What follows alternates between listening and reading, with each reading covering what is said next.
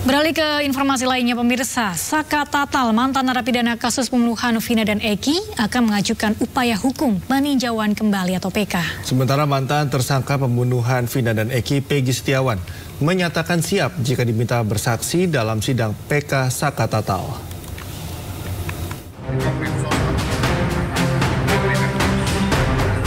Saka Tatal, mantan narapidana kasus pembunuhan Vina Eki, telah mengajukan upaya hukum peninjauan kembali atau PK ke Pengadilan Negeri Cirebon, Jawa Barat. Saka yang telah bebas pada April 2020 lalu mengajukan PK sebagai upaya memulihkan nama baiknya. Sidang peninjauan kembali Saka akan digelar pada Rabu 24 Juli 2024 mendatang.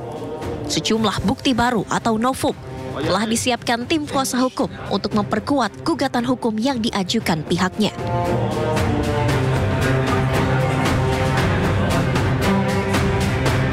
Selain melampirkan bukti baru, pihak Saka Tatal juga akan melampirkan hasil putusan sidang pra-peradilan yang dimenangkan Peggy Setiawan sebagai dokumen tambahan.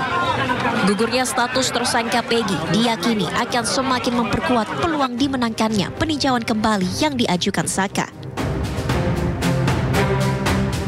Saya menyerahkan novum itu novum itu mudah-mudahan akan membukakan uh, hakim bukan saja hakim pada PK Saka tetapi hakim-hakim lain yang akan menangani PK uh, terpidana lainnya karena di novum itu akan diperlihatkan secara nyata kondisi apa sih yang terjadi sebenarnya gitu.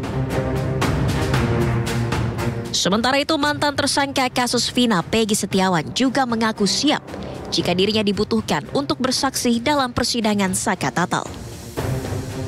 Jika memang saya dibutuhkan, insya Allah saya siap membantu. Namun selebihnya saya serahkan kepada kuasa hukum. Ya jika memang dibutuhkan, jika memang dibutuhkan. Tapi jika memang dibutuhkan ya bukan saya tidak bisa karena jika memang dibutuhkan. Karena ini bukan ranah saya gitu. Itu. Karena saya sudah sudah ada terkaitan.